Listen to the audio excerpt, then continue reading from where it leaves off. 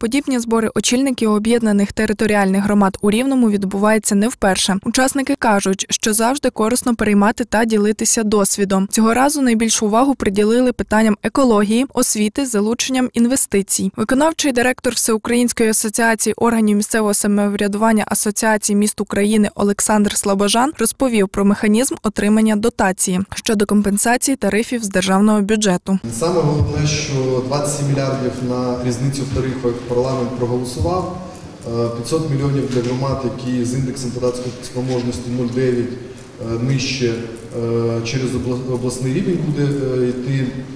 Ці громади отримують це вже в цьому році. Я звертаю вашу увагу, і в наступному це майже півтора мільярди гривень. Міський голова Олександр Третяк зауважив, що для рівненської громади питання компенсації тарифів за теплопостачання досі залишається відкритим і неопрацьованим достатньою мірою. Щодо е, індексу 0,9, якщо наша громада має індекс вище, от відповідно ми залишаємось без е, коштів. Також пан Третяк висловив занепокоєння з приводу коштів, виділених міським бюджетом на удосконалення профтехосвіти. А це чимала сума. Отримувати ж з технічні професії до рівного приїжджає 80% студентів з інших територіальних громад. Тому було б доцільно, аби дофінансування цих освітніх закладів здійснювали за рахунок інших бюджетів. Е, Скажу, що місто Дубно, маючи і ПДФО, і дуже велике надходження, є ще прекрасний септик, так?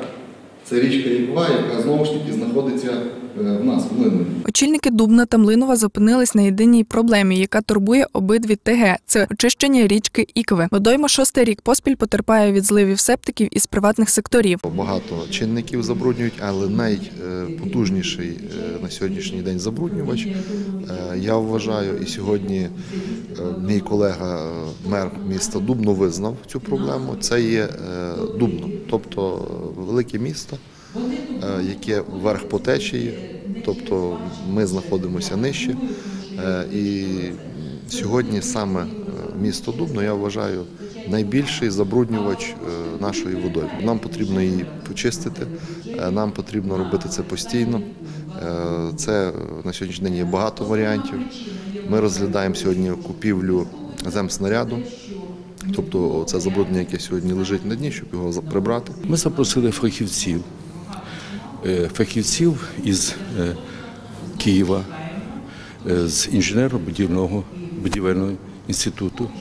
Запросили міжнародних фахівців, інспекторів, і, які прибули в місто Дубно, оцінили ситуацію.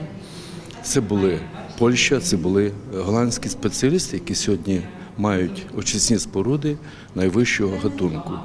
Загалом захід тривав понад 4 години. Десятки озвучених проблем зафіксовано для подальшого їх вирішення. Тетяна Цицюра, Михайло Мандзюк, телеканал ITV.